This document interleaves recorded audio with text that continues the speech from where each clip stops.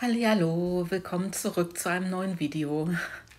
Ja, diesmal möchte ich nochmal Weihnachtsornamente gießen und ich möchte sie ähm, weiß halten mit einer Menge Glitzer. Und hier mixe ich mir gerade meinen Glitzer zusammen.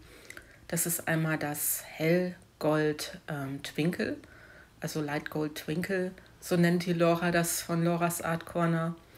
Das mixe ich mir in mein Harz. Das Harz ist übrigens das, die neue Formel von dem B20. Ich wollte mal ausprobieren, was ich mit dem B20 erreichen kann. Und dann habe ich mir gedacht, ich mache noch ein bisschen von dem holographischen Glitter. Ich habe ähm, zwei holographische Glitter auch von der Lora. Ich suche mir das gerade schlecht vorbereitet, Petra und suche mir das Bessere von beiden aus. Also für meinen Geschmack das Bessere. Obwohl die sich beide sehr, sehr ähnlich ist. Das eine ist nur etwas gröber. Und das habe ich jetzt hier auch ähm, verwendet. Und mixe mir das zusammen mit meinem Gold. Und das Ganze ergibt halt einen helleren Ton mit dem Glitzer. Und das gefällt mir persönlich sehr gut. Und ich nehme jetzt mein Weiß, mixe das in mein Harz. Seht zu, dass ich das ein bisschen mehr opak mixe als die Blumen, wenn ich die Blumentechnik mache. Und ich gebe auch noch ein bisschen von dem Interference Gold. Auch beide Artikel habe ich von der Laura von Laura's Art Corner. Ich verlinke Laura in meine Beschreibungsbox, auch den Rabattcode, falls, ja, falls ihr euch dafür interessiert. Ja, und dann mixe ich mir halt jetzt hier mein Weiß zusammen. Für mich ist es noch nicht ganz opak genug. Deswegen taste ich mich auch oft ähm, einfach so ran und gebe dann noch mal ein kleines bisschen hinzu. Ist am besten immer, wenn ihr erst ein bisschen weniger nehmt und dann wirklich seht, ähm, dass ihr euch langsam an die Farbe oder an, ja, an das Weiße herantastet, damit es nicht direkt zu schwer wird. Das kann ich euch so als Tipp geben. So, und dann geht es auch schon los. Ich gieße meinen Glitzer in dem unteren Bogen von der, von der Weihnachtskugel. Ihr seht das einfach am Rand entlang. Das mache ich für alle drei.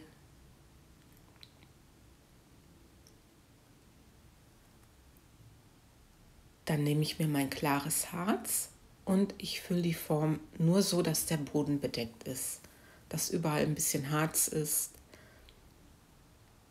Übrigens die Form, wie ihr euch wahrscheinlich denken könnt, ist von Molds and Shapes. Natürlich verlinke ich Molds and Shapes in meine Beschreibungsbox und auch meinen Rabattcode. Ja, da war was in meinem Harz drin, das hole ich mir eben raus.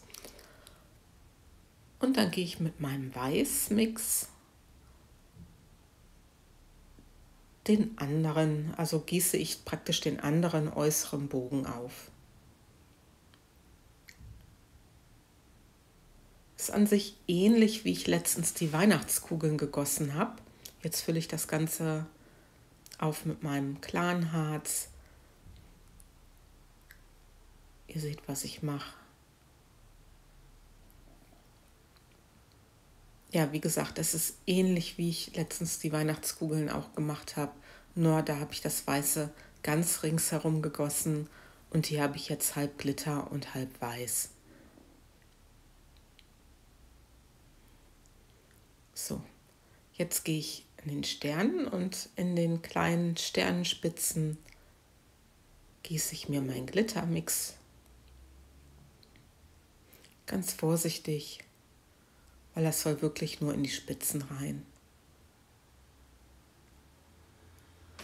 Das glitzert und funkelt, das kommt gar nicht auf dem Video so rüber, aber wenn ich die ähm, Ornamente in, in real sehe, das ist schon der Wahnsinn. Aber dazu kommen wir später.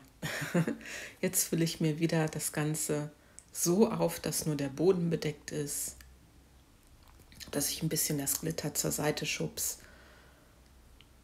Und dann nehme ich mir mein Weiß, gieße einfach in die Mitte rein ja, das habe ich mir dann ganz spontan überlegt. Keine Ahnung, was dabei rauskommt. Dann fülle ich mir meine ganze Form wieder mit meinem klaren Harz auf.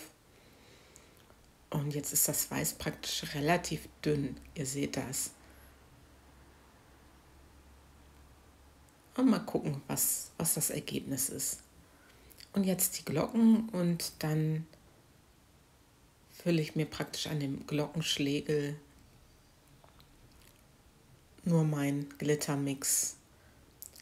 Dann fülle ich mir wieder den Boden so leicht auf. Ihr seht das. Und dann nehme ich mir mein weißes Harz. Ja, da habe ich ein bisschen zu viel in, in diese Glocke reingegossen. Also man muss schon vorsichtig sein, dass man nicht zu schnell gießt. Also ihr seht, mir passiert das genauso. Aber jetzt nehme ich mir mein weißes Harz und ich gieße einfach praktisch am oberen Rand der Glocke mein Weiß. Ähnlich wie ich es bei den Kugeln gemacht habe.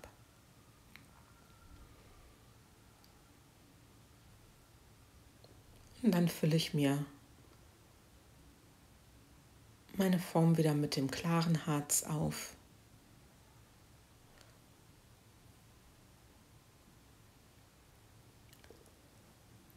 Und dann nehme ich mir nochmal mein Weiß und gehe nochmal am Rand entlang bei den Weihnachtskugeln.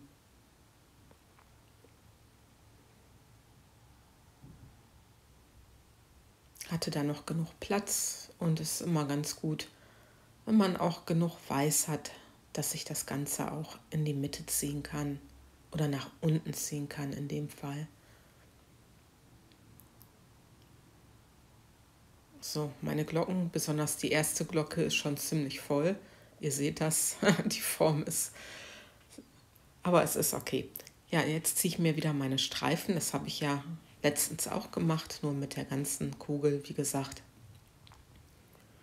Und dann lasse ich das Harz einfach seine Magie machen.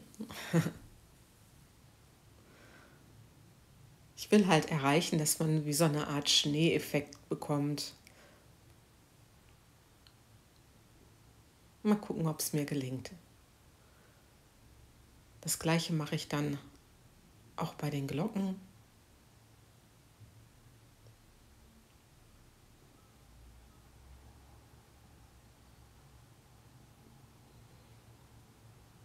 Das hat dann so den Effekt, dass halt das Harz, was man runterzieht, etwas dicker ist und das andere Harz, was noch ähm, am Rand verweilt, das zieht sich wie ein ähm, ja, zarter weißer Streifen in die Mitte.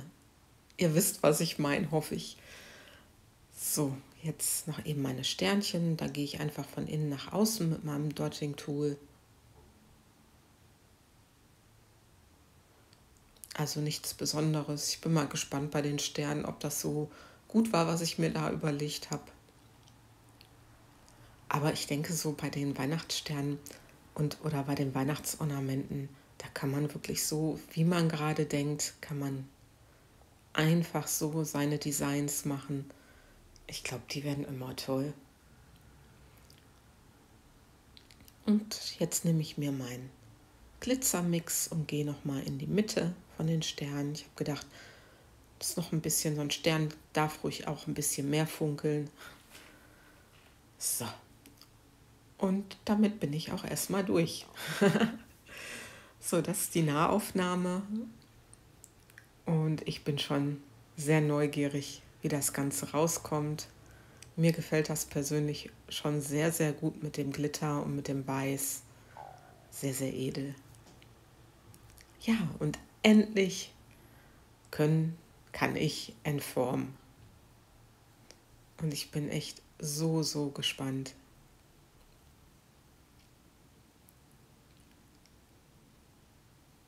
Ja, ihr seht, die ähm, Ornamente, die gehen wirklich richtig gut aus den Formen raus. Auch da, wo die Aufhängung ist, richtig toll. Also die Formen sind wirklich von hoher Qualität und jeden, die sind wirklich jeden Cent, jeden Cent wert.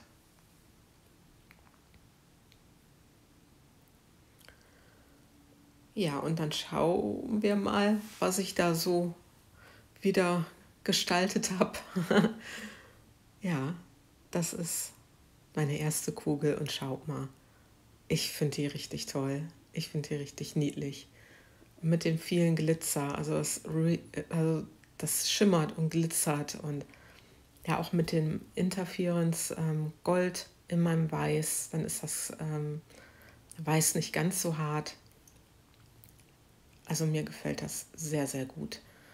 Jetzt die Sterne und die sind bestimmt sehr, sehr glitzerig und funkelnd. Guck mal. Und die Form ist keine Holo-Form. Modes Shapes haben die gleiche Form auch in, in Holo-Variante. Und dann glitzert das noch mehr. Aber das gefällt mir. Das gefällt mir schon sehr, sehr gut. Ja, doch. Und jetzt noch die Glocken. Ja, und das gefällt mir auch gut. Doch, ich bin zufrieden mit dem, was ich da wieder gemacht habe.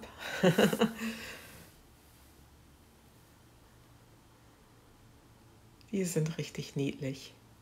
Ja, ich würde mich freuen, wenn ihr mir in den Kommentaren sagt, was ihr darüber denkt, ob euch das Video auch gefallen hat, ob euch die Kombination gefallen hat. Gerne einen Daumen hoch, wenn euch das Video gefallen hat. Und wenn ihr noch kein Abo habt, ich würde mich riesig über ein Abo freuen. Ich sag mal bis dann und passt auf euch auf. Eure Petra. Tschüss.